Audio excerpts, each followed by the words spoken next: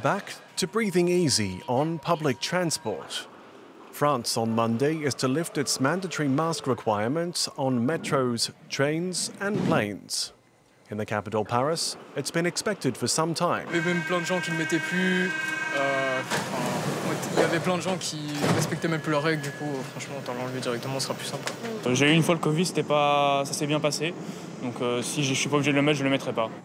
But many public transport users say they'll continue to wear the mask.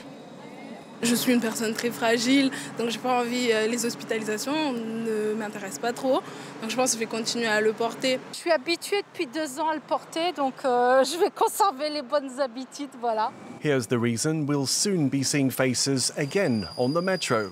A significant drop in daily infections compared to the peak of nearly half a million cases in one day in January.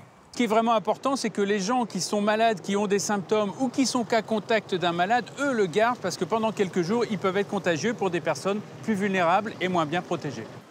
The European Aviation Safety Agency has also removed the mandatory mask recommendation in airports and on all flights. But this is where it gets complicated. Germany, for one, has said face coverings will remain obligatory on all flights taking off and landing in the country. Travellers may be left holding their breath as the authorities clear the air over their differences.